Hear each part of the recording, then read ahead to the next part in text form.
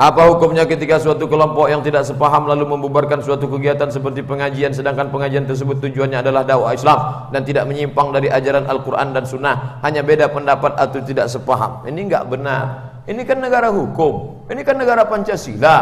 Kebebasan berekspresi dijamin. Ustaz Abdul Somad ceramah tiba-tiba ada sekelompok orang membatalkan. Emang ini negeri hutan?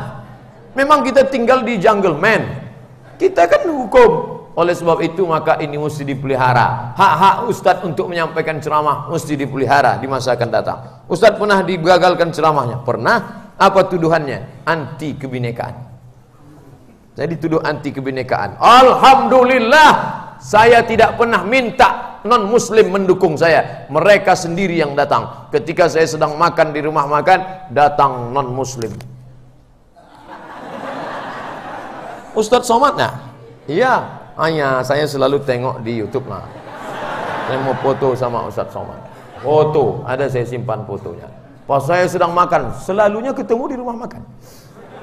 Datang satu lagi, Ustaz Somad ya? Ya, nama saya Advan. Ini anak perempuan saya, namanya Maria. Ini anak laki-laki saya, namanya Daniel. Kami non Muslim. Kami selalu senang dengar ceramah Ustaz Somad. Sampai saya ke Makassar, keluar dari pesawat, ketemu bapak-bapak, salamnya saya. Ustaz Somad ya? Iya, saya selalu dengar ceramah Ustaz Somad. Allah mau tunjukkan, maka yang risau dengan ceramah ini sebenarnya bukan non muslim, tapi siapa? Enggak tahu entah siapa.